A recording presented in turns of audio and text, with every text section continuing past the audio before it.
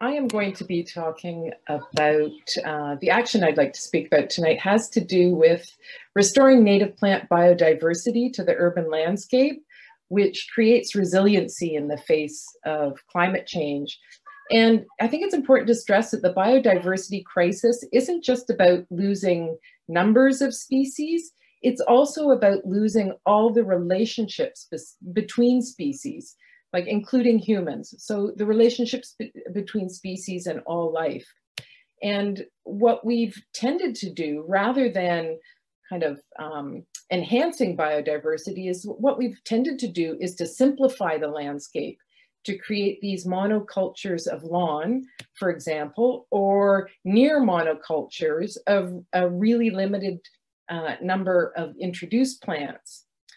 So one of the very valuable actions that we can take to address the biodiversity crisis and the climate crisis, which of course are you know, intimately linked together, the biodiversity and the climate crisis. So one of the things we can do to address these, one of the actions we can take is to foster relationships on the land and relationships with the land. And there are many, many ways to do that. And I'm going to focus on how we can do that through gardening. And I call it gardening, but you know, we could just as easily use other terms like cultivation or nurturing or healing or restoration or tending the earth or naturalization. There are all these different terms. I like to think of gardening as a conversation with the planet that we're having and as building a relationship with the earth and with other people. And like any good relationship, I want it to be based on respect and generosity and caring and connection and joy. So I'm going to focus particularly on native plant gardening. Um, and the reason um, why is that native plants are plants that have, over this very long evolutionary timescale, developed all kinds of interrelationships uh, and connections in a myriad of ways um, with all of the life and with all of the conditions of a particular place. And these all contribute to healthy ecological functioning. Now, some of these relationships, particularly the relationships between um, plants and pollinators, so plants and insects, some of these relationships are incredibly specific. Um, you know, there's this tiny sweat bee that has a narrow, narrow preference for the pollen of one particular native plant so that that um, species of bee, um, you know, it, it has formed this relationship and depends on it in some ways.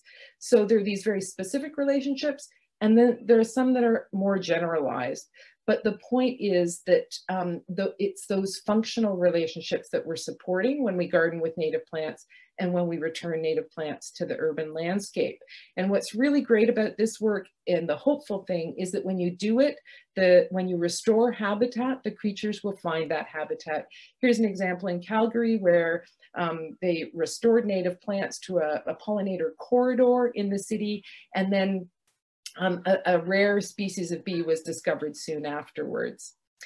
Another really um, uh, important thing about this work that makes it quite meaningful is that wherever you're doing it, and at whatever school, at, at, whatever scale you're doing it, it's meaningful, it has value, it matters. It's definitely not just yards or gardens, but it's also boulevards and laneways and balconies and parks and school grounds and community centers and faith centers all over.